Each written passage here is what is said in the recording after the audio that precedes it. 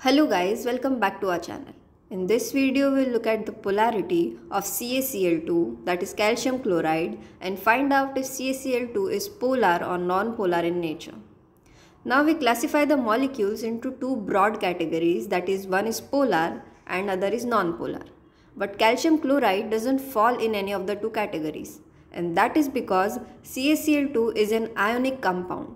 It is made up of one metal and one non-metal. In such compounds, instead of sharing electrons and forming covalent bond, one element transfers electron to the other element and the one sharing or donating the electrons is metal and the one accepting the electron is non-metal. The bond formed by this kind of sharing is called ionic bond. So here calcium will donate its 2 electrons to chlorine and it will gain plus 2 charge and chlorine will gain a negative charge by accepting 1 electron. When we look at the periodic table and calculate the polarity difference or electronegativity difference, it is higher than 2 and the compounds that exhibit this kind of property are known as ionic compounds. We can also refer to this electronegativity difference table for determining the bond type.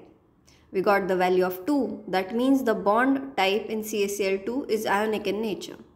So CaCl2 is neither a polar molecule or a non-polar molecule. It is an ionic molecule and it goes beyond the polarity scale. For more such videos, make sure to subscribe our channel and thank you for watching.